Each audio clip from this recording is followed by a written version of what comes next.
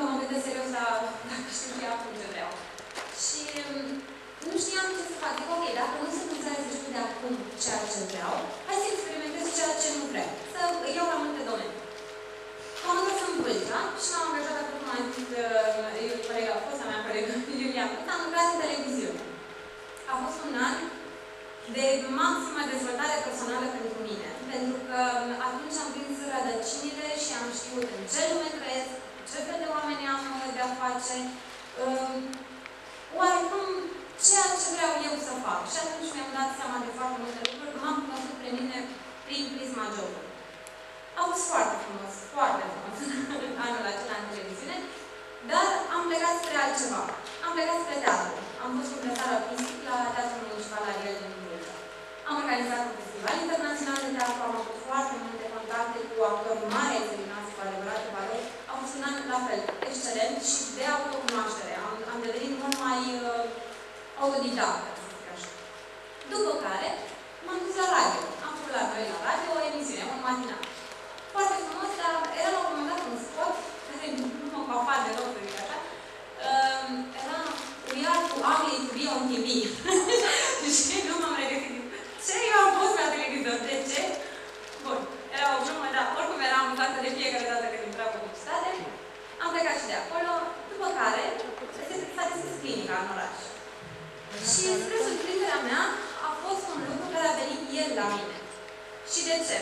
Pentru că mi-a fost studiat CV-ul meu. A văzut toate programele de voluntariat, a văzut mobilitatea de care eu aveam parte, a luat tot ce a fost mai bun în fiecare domeniu în care am lucrat. Televiziunea și radio pentru relațiile pe care le aveam. Teatrul m-a ajutat foarte mult să cunosc lumea asta, cum se zice, o epică, a lor boemă. Și, uite așa, toate cunoștințele s-au acumulat într-un bagaj care mă ajută acum să managerez o clinică uh, privată exact în domeniul în care vorbeam mai devreme. Exact ceea ce, traiectoria pe care vroiam eu să ajung de la bun început. Vrei teamă de eșec? Nu? Înseamnă că ai sau traiectorie la ce Dezvoltă cum se Nu te teamă de eșec din punct de vedere profesional? Nu? Ce te-ai gândit să faci? Ce te-ai gândit să faci? Nu spui mare. Da. Poftim? Spirist? Da. Tirist. Ori cu bacul, ori cu bacul. Tu ce Da, zici? rimează. Uh, Stilist, stilist. poftim? Consonă pe acolo. Ce vrei să te faci? Stilist, medic legist, uh, cântăreț. Puteți fi absolut orice atâta timp cât vă treziți dimineața și faceți ceea ce vă place. Este cel mai important lucru. Eu nu caut astfel de conferințe unde să mă duc, uh, în afara orașului. Și peste tot văd management cu stresul. Uh, cum să te duci la job fără stres. Și mă tot întrebam, am tot întrebat în stânga și în dreapta, cine se duce la astfel de conferințe și de ce, în primul rând. Și am primit răspunsul pentru că jobul este foarte stresant. Bine, dar coatele alea pe băncile facultății, ale școlilor, calcula de diplome la ce te ajută dacă tu ceea ce produci și investești, tot în tine în scade stres?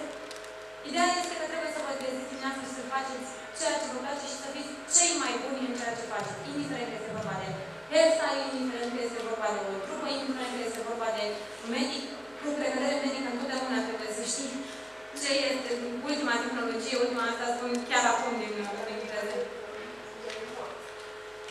Da, nu știi ce mai apare, credem că așa am spus și eu la început. Un dinte. Cât de greu poate fi să-l scoți? Nu? E bine, eu la asta am avut probleme. Eu când vedeam să eram verde, galben, albastru, atunci să vină pacientul la mine, că îi dau extensii la spate să sunt...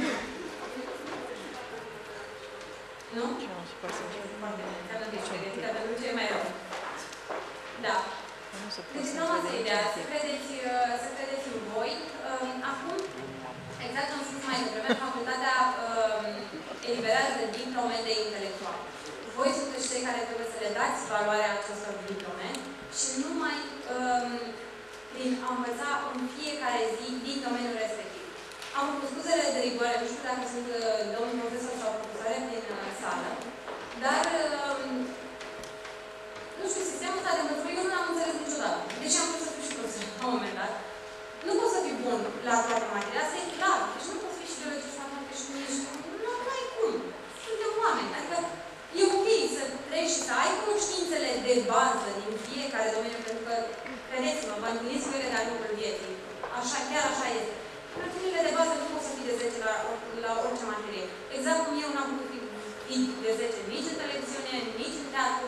Am fost atât cât să știu uh, elementele de bază și să știu că poate nu asta este ceea ce vreau să fac mai departe și să mă îndrept spre ceea ce îmi doresc.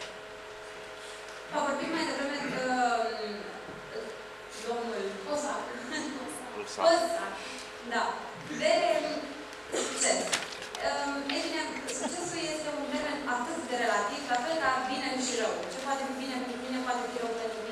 și invers. Și atunci binele trebuie să fie cel pe care vi-l uh, alegeți voi și să nu lăsați presiunea societății să vă aleagă cariera.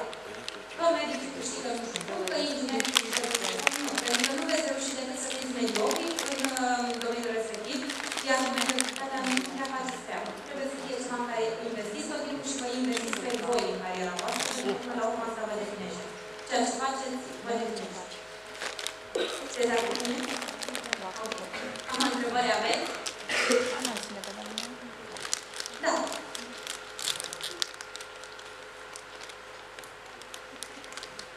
Ok, camarada. Da.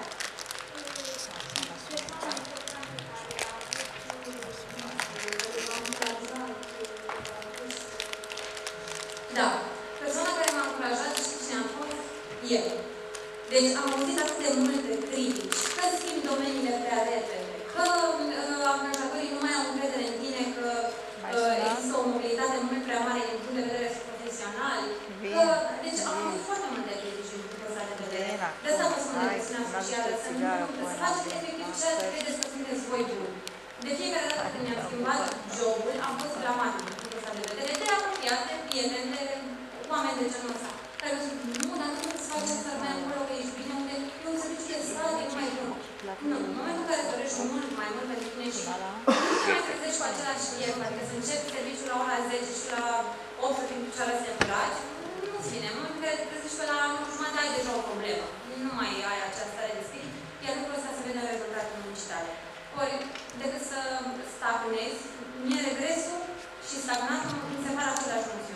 Pentru că atunci când stagnezi, înseamnă că stai pe loc. Înseamnă că deja nu mai investești în tine. E, asta duce la, la regres, ceea ce ne vede. Dar dacă e să vorbim de mentor, uh, mi-a plăcut, mi plăcut foarte tare să stau între oameni, să nu fiu cea mai deșteaptă într-o hotare, să zic așa. În momentul în care uh, ai oameni în jurul tău de la care uh, înveți ceva, nu neapărat să te motiveze pe tine ca om, dar pur și simplu să le urmezi lor un pic, să-i urmărești din traiectoria profesională, să vezi că se poate, chiar și în momentul în care schimbi mai multe, mai multe domenii. V-am spus, orice domeniu în care am lucrat eu până acum m-au ajutat foarte mult și mă ajută în continuare la ceea ce fac acum și credeți-mă că nu este un Da.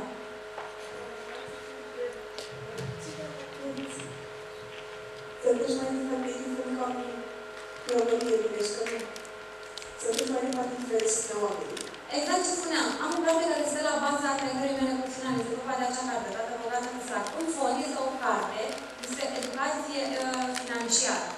Dar exact, uh, e ca și cum am uitat toți la un tablou. Același tablou. Nu se vede niciodată același lucru. Fiecare vom, uh, vom primi tablou prin filtru personal, prin experiențele proprii, prin nivelul de cultură, prin nivelul de trai. Nu se vedem niciodată la fel. Și atunci uh, eu am zis că nu are rost să stau într-un loc unde nu mă mai simt eu împlinită ca om și unde nu mai pot să mai absorb uh, informațiile de care am nevoie. Adică le absorb până la un punct. În momentul în care ajungi la saturație, trebuie să faci ceva. În momentul acela se simt frustrări. Uh, și credeam eu și încă am credința asta, că sunt mult prea tânără pentru a face lucrul ăsta, dar nu neapărat. Văd și oameni uh, mult mai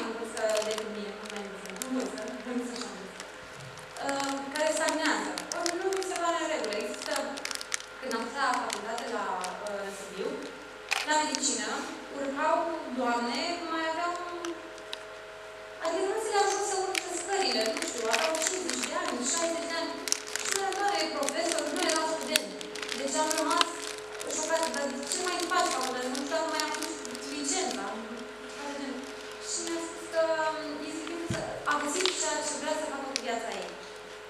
Ok, de ce să nu? E clar, că până la urmă despre asta este vorba. Să faci ceva ce vă motivează. Pentru că în momentul în care terminați facultățile, nu o să vă duceți nicio viață din niciun oraș, să ridicați diploma și să vină cineva la voi să zică ia ce ai terminat, am eu. Nu, o să mă întrebe ce știți să faceți, cum ați făcut,